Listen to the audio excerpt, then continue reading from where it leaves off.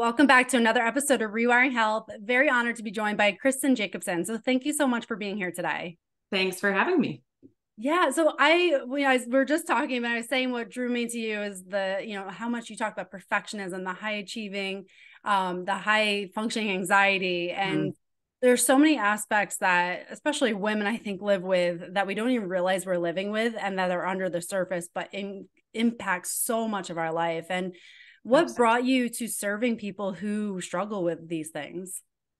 I mean, I I have personal lived experience with it and then being a clinician, you know, um, working with clients who are also struggling with this. So um, I've I've had anxiety myself pretty much my entire life, and then um, in adulthood, it really started manifesting in that high functioning anxiety, sort of high achieving way. Um, and almost like over functioning I, I like to think about it. So just have had to be really um, intentional myself about knowing when to to stop doing things and really you know having um, pretty firm boundaries between work and my personal life and um, and just helping my clients to to navigate that for themselves too. And um, like you mentioned just we carry a lot of of limiting beliefs and and certain expectations and we don't really um, re- reflect on those a lot. And so that's what i work on a lot with my clients is kind of getting in touch with their core values so that they can live a more intentional life that's aligned with those. Yeah i love that. And as far as your own journey what really allowed you to release yourself from some of these things that were holding you back um, you know, I, I still struggle with it and I still yeah, have to be to, to remind myself to practice what I preach a lot mm-hmm. of the mm-hmm. time. But I think um for me, exercise has been um really helpful just in terms of kind of releasing stress and um being able to practice mindfulness in my own way. You know, a, a lot of people well a lot of the the clients I, I work with tend to sort of resist the idea of meditation because you know we're constantly in that that like hustle culture go go mm-hmm. go type of state. And so it's like wait i don't have time to meditate. I don't have time to to slow down. But i think it's important to realize that practicing mindfulness can can look a, a lot of different ways you know and it's really just kind of being immersed in the present moment and really being in, intentional with what you're doing. And so um and getting out of your head essentially so yeah. for me, exercise has really helped and just um, trying to practice mindfulness in, in other mm-hmm. areas mm-hmm. of, of my life and just kind yeah. of my day. Mm-hmm. Yeah, that's so important. Just that slowing down. Like I know for me, even too, that's been a big part because it was like that almost staying busy feels more natural. Absolutely. Yeah. Especially when you are a high achiever, you're always going. It's like that feels more comfortable. So slowing down can be really challenging. Did you feel mm-hmm. like you very intentional about that, especially when you started? Yeah and i i literally will schedule it into my day mm-hmm. like an mm-hmm. appointment you know because yeah. otherwise it's it's not going to happen mm-hmm. um so it's you know making an appointment with yourself is a, a tremendous act of self-respect and self-care mm-hmm. just to to kind of honor that and uh, yeah. most people do not do that you know yeah. if they have sort of somebody external they're accountable to that's fine but they they have a really hard time being accountable to themselves. It's so true. It almost feels like we're almost on autopilot most of our days. You know, you're just yeah. trying to get everything done, check the boxes, and then do it all over again. Absolutely. And yeah. I love how you talk about, um, you know, I've, I've watched a lot of your social media posts and like you talk about the high functioning anxiety. And I know when I came across that term years ago, I was like, oh my gosh, that's me. Like, you know, yeah. I really heard that term before because I didn't really consider myself to be anxious because I'm like, well, I'm still doing everything I need to do. But when like when yeah. I term, I'm like, wow, like you know this this literally described how i felt do you mind talking on that a little bit more like what is high functioning anxiety what are the signs of it what are what do people feel like when they're experiencing that yeah so i i think a lot of people are are similar in the sense that they they don't really realize that that's what they're experiencing because that's just how they felt their pretty much their entire lives. Like they don't know anything different but really it's when somebody appears to have it all together from the outside but they're kind of crumbling internally so to speak. Um, you know a lot of people are going to be really successful they're going to be able to to kind of juggle you know work and maybe being a parent and um, managing the household. And you know it just from the outside it, it looks like they have their their stuff together and that you know they're they're on top of everything. But internally it's that um just constantly like doubting themselves or questioning themselves and um getting stuck in the doing right? A, a lot of our self-worth comes from what we can do versus who we are. And so it just kind of creates uh, or perpetuates the cycle of doing more and doing more and doing more. And then you know we'll achieve something and not really give ourselves time to relish in it and then it's on to the next. So, so it's sort of like I, I call it like the finish line mentality where you know we have an achievement feels feels okay and then we we're just on to the next achievement and we never really give ourselves time to like you know reflect on on what we've done and what we've been able to accomplish and um so it really just kind of robs us of of our happiness yeah, it's so true. I, I, I can definitely relate to that. It's almost that like the hollowness, like you thought you would feel a certain way, yeah, and mm-hmm. you don't, and you're like, well, what's wrong with me? Why don't I? Why am I not grateful for this, or why does it not? Yeah, like I thought it would, and then you feel like you have to keep going and going and going. But it's so true. It's like I don't know. Uh, uh, could you like this is something I've experienced with many people I've worked with too. Like it's like you almost don't want to celebrate your wins because it's almost like taking the foot off the gas. Mm-hmm. Like have, can you explain that a little bit? Why why is that a thing? Because there's like a fear I feel like in mm-hmm. like if you celebrate yourself, you're gonna let off, and then everything's gonna like spiral out of control. Yeah, because it's you mm-hmm. know that that anxiety is like fuel, mm-hmm. and and it kind of keeps us going, but it but not in a healthy way. And so it's like if we if we do allow ourselves to slow down, we think that we're going to become complacent or we're going to you know if we're juggling a million things we're going to drop drop one of those balls or mm-hmm. or not sort of reach our full potential when in reality it's like slowing down and um, reflecting on those accomplishments or giving ourselves space to rest and recharge is what's actually going to make us be more successful and and happier in the future. But we have a really hard time when we're just i mean it's it's habitual. It's like how we're wired unless we really are intentional about um, breaking that that cycle that it's just going to keep going and going yeah, it's so true. It's like you go back to what's most familiar, what's most comfortable. And Absolutely, even if it doesn't yeah. serve you, it's like that you perpetually go back to that person because mm-hmm. you've lived like that for years and maybe didn't even realize that you're living yeah. for years. So yeah, I, have definitely experienced that in my life. I'm sure many people listening are like, yes, like mm-hmm. that I've experienced that too. For someone who is saying, yes, that's me, like how do I break that cycle? Like what is something that someone could do today to to get started to start moving out of that that vicious cycle?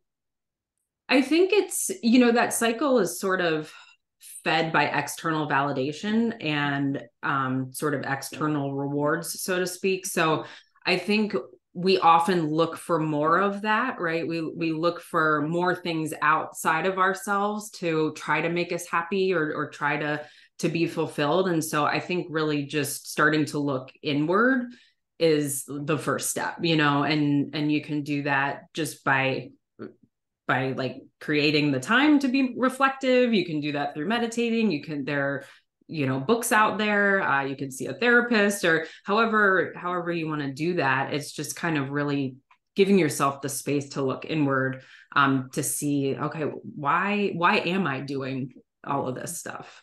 Yeah yeah, it's a, no, it's a really good recommendation because it is like having that space and that time and realizing that it is that time where things actually happen and you move forward is is huge. And mm-hmm.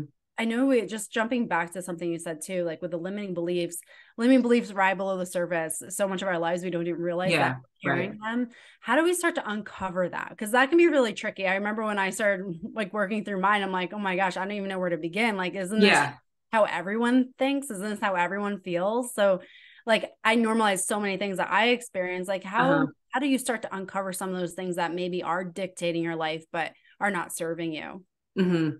Yeah, I I kind of call them our blind spots. So just like, you know, if you're in a car and you have a blind spot, that's the you can't see that area. Like we there's like you're saying there's so much that lies sort of below our level of conscious awareness that um, they're, they're blind spots. And we all have them even if we've done like you know a lot of work on ourselves. We we all have blind spots. So sometimes it actually takes someone else to give you that feedback that like hey i'm i'm kind of noticing this pattern in in your belief systems or the way you're thinking.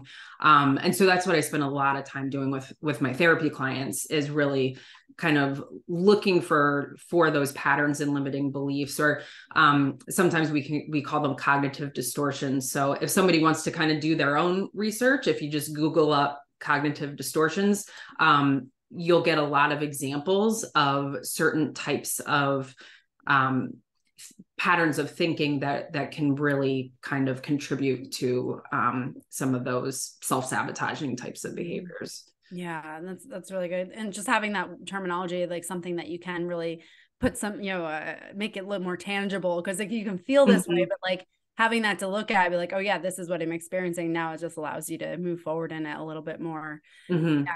and i know um you you've talked about burnout and burnout's a big thing especially when you're trying to juggle all these things. You're trying to be a mom a businesswoman you know whatever it is there's a lot going on. What are some of those signs that you've noticed that someone could really see if they're starting to burn out before they actually get to the point of burnout?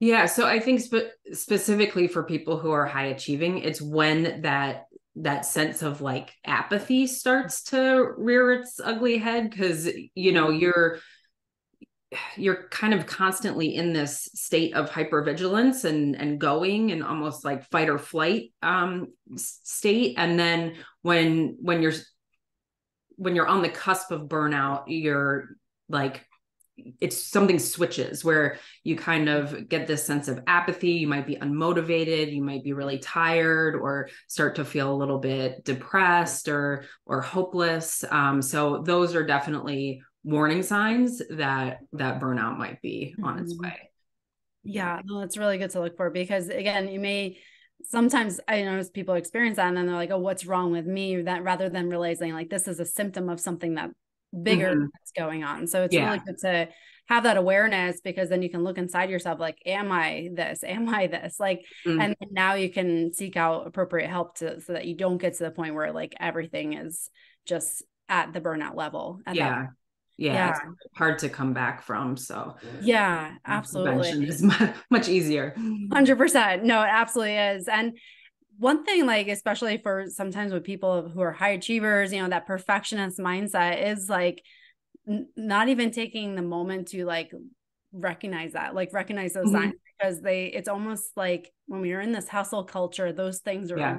praised absolutely Can you talk about how society plays a huge role in this because like inside ourselves we can maybe see this but then when we're getting rewarded like maybe at mm-hmm. work or from just how society praises just constantly going staying busy how do we navigate that with like ourselves versus like what we're being rewarded for outside ourselves yeah it's so it's so hard because it's it's worked for us right like mm-hmm. it's gotten us yeah. where where we are in life mm-hmm. which is is to be pretty successful for most yeah. high achievers. And so it's really hard to take a step back and be like but but is this really good? Like is this sustainable rather you know? Um and yeah i think there are so many systemic issues that contribute and um there's such this competition in sort of the corporate world of you know if you're if you're a workaholic if you are uh, it's almost like this um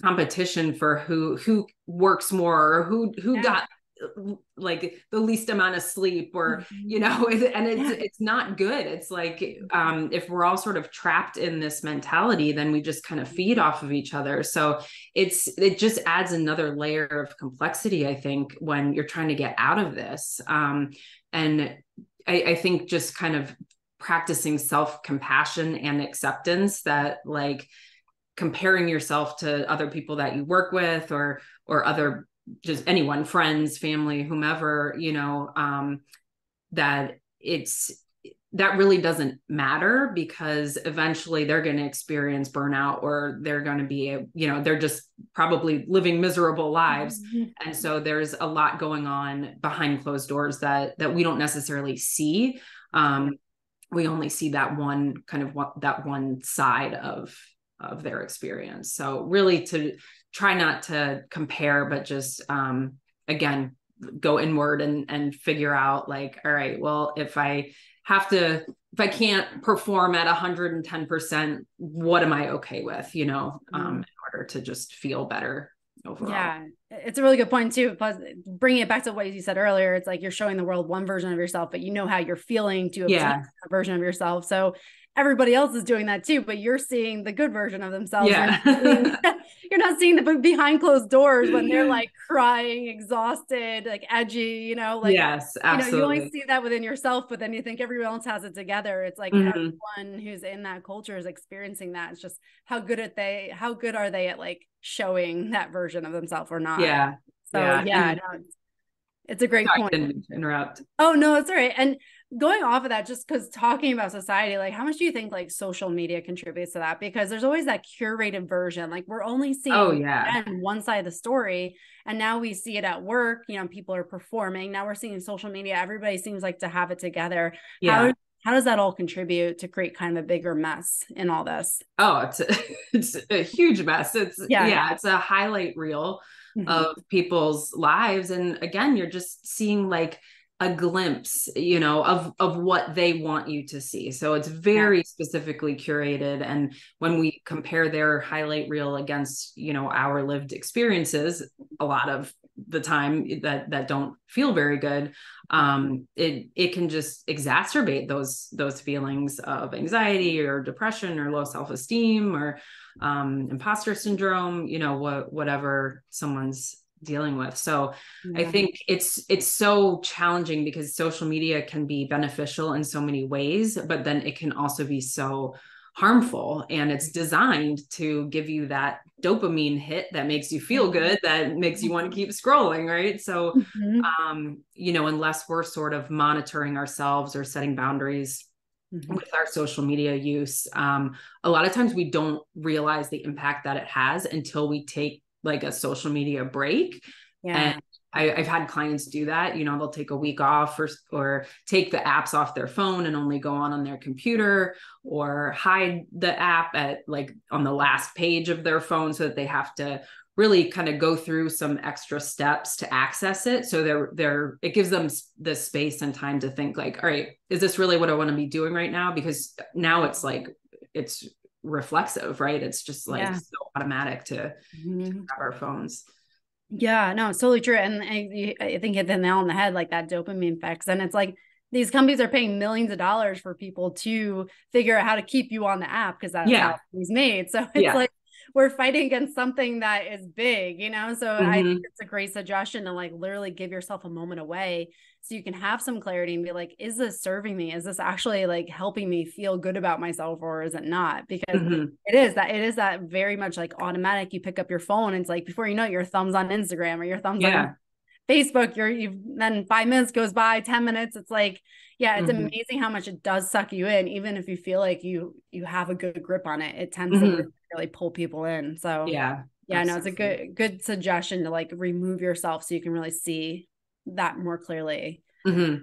And I know you you just you talked about imposter syndrome. Can you talk about that a little bit more? Because that is such a big thing for anybody who's like trying to create a newer life for themselves, or they're trying to move into that maybe discomfort uncomfortable zone where like it's mm-hmm. unfamiliar mm-hmm. they're trying to really grow and evolve but then there's like well who am i to do this you know mm-hmm. yeah so can you talk about that because that can be really hindering to someone who maybe has the awareness they're not content where they are they're mm-hmm. trying to expand themselves but then there's like that pause that that something that's holding them back and a lot of times it is that imposter syndrome mm-hmm. so it's just uh, you know expanding on that and how that really impacts people yeah and it it's so ironic because so many people experience it you know yeah. but it's it's mm-hmm. like this sense that we're going to be found out that like we're not as intelligent or competent or skilled as other people think we are um, and that that's somehow we're going to be exposed you know? And a lot of that just comes back to um, just our, our sense of of self-worth and also i think just how um, again social messages like especially for women women definitely struggle with imposter syndrome a bit more than men do. And um and it's become really rampant i think social media plays a role because now we just have access to to seeing you know what other people are doing. And um, again we're only seeing a, a glimpse into a, a, portion of their lives but um, there's a, a quote that I, I actually have it on my wall right here so i keep looking mm-hmm. over i can't i i don't know who the author is so i mm-hmm. i don't know who to give credit to but it's yeah. um it's scary because it's unfamiliar not because you're incapable mm-hmm. and i mm-hmm. love that yeah. because i think a lot yeah. of times we especially with imposter syndrome we get anxious because we think we're incapable or you know we don't have um the the intelligence or the skills when in reality it's it's new so of course it's going to be mm-hmm. unfamiliar of course it's going to be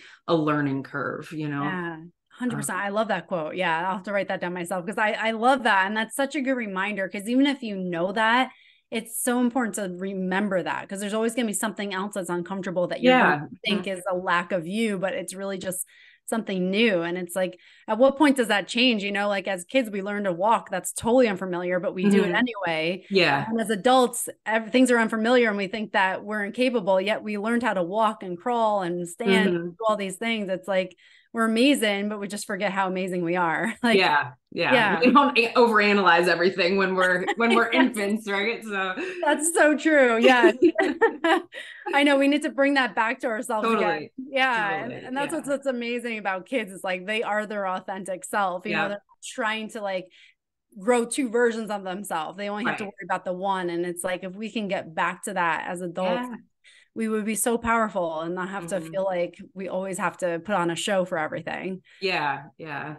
And yeah. that you know that's a it, it just made me think of um something else where like the role of play in our lives is so important and as adults we don't really consider that you know everything is responsibility or obligation mm-hmm. and and play can can be whatever form you know it could be doing something creative or mm-hmm. um really anything that that yeah. is sort of restorative for for you your you know mental emotional physical energy mm-hmm. um and that's and that's what kids do right they play all the mm-hmm. time and they're they're so much better off emotional for it. exactly. And there's a lot of research showing that play helps you rewire the brain. And yeah. explorative curiosity of learning yeah. something mm-hmm. that you don't know. And it's like kids are so great at this. And like we, yeah, we get stuck in, in such a rut, you know. Yeah. Same thing, going to the seat that's familiar, going driving the path that's familiar. We keep mm-hmm. going back to everything we know. And it's yeah, you're so right. If we can start incorporating some of those things that are just fun, like and mm-hmm. just like have fun. I think sometimes as adults, especially like, you know, high achievers, go getters, like there's yeah. almost like guilt, like, oh, I don't have time to do this. Like this mm-hmm. is so irresponsible. I should, I should be doing the dishes while I have this time. Or yeah, you know, the pile of clothes on my bed. Like there feels like there's also guilt response too sometimes. Oh, huge guilt. When yeah. you know, self-care guilt, fun guilt, play guilt, like it yeah. all comes in. And then even if you still do the play, but you're thinking that guilt thoughts, mm-hmm. it's like mm-hmm. it doesn't help you at all. Right. Exactly. So, yeah.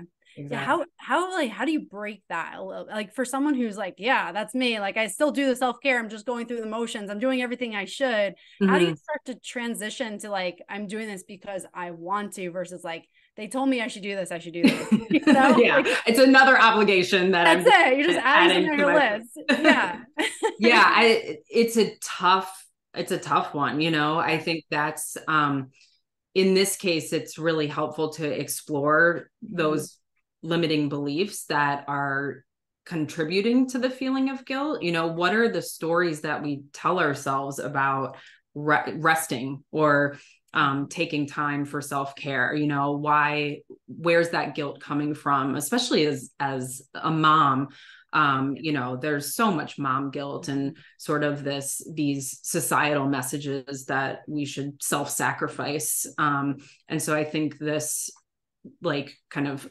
our generation of of moms are are shifting that but there are still mm-hmm. some some deep seated um messages and and yeah. beliefs that that are there Mm-hmm. Yeah, absolutely. I totally agree with that. It's like you, you, see what's modeled when we grew up, and it was that self sacrifice. Mm-hmm. You're like, well, this is how you do it. Mm-hmm. Yeah, we wouldn't want our kids to self sacrifice. So why are right. we doing that ourselves? It's like literally a gift to your kid when you actually do take time for yourself. Yeah. Yeah. It's, it's so important to reframe that because it, it really, it can be really hard to get stuck in those traps. And like, even if you know that, it's still easy to get stuck in those mm-hmm. traps. Of like, I shouldn't do this. I, I don't have this 15 minutes. Like, mm-hmm. yeah yeah it, it, can be really a vicious cycle of never feeling like anything is for you or you can mm-hmm. never uh, put gas in your tank. It always has to yeah. it drains you. Mm-hmm. yeah. Yeah.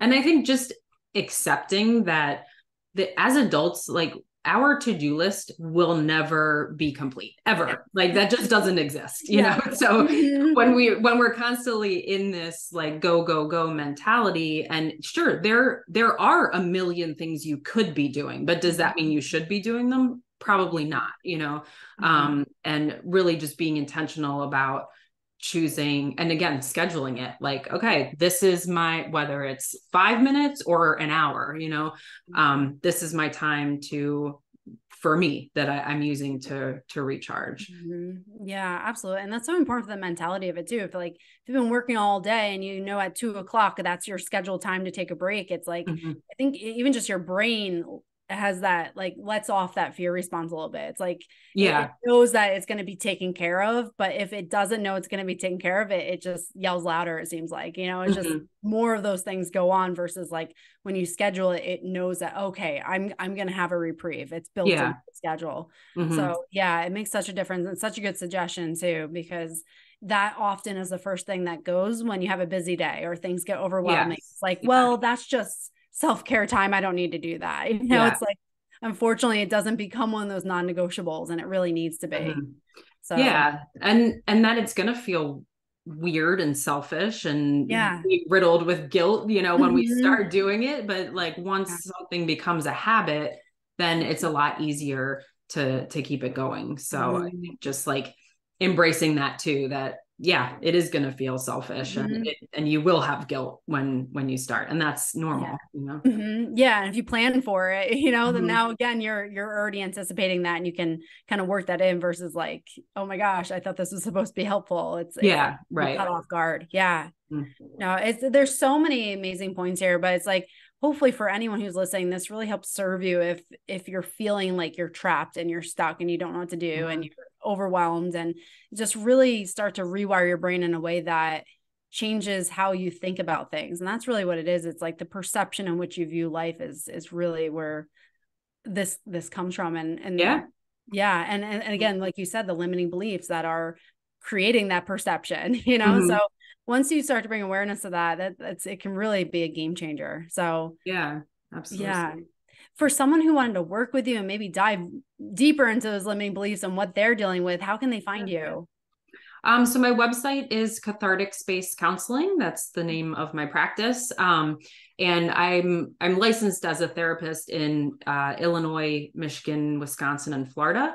Um, mm-hmm. But then I also have coaching clients nationwide um, that you know we work on on similar things. There are certain licensure guidelines obviously um, between therapy and coaching but um, but i do work with people nationwide as well Great. I'll put everything in the show notes too for anyone who's listening and wants to reach out to Kristen. Definitely do that and, and follow her and yeah. you know, just dive in deeper into everything that can really help you move your life forward. So thank you so much for being here today. Thank you. I really appreciate you having me.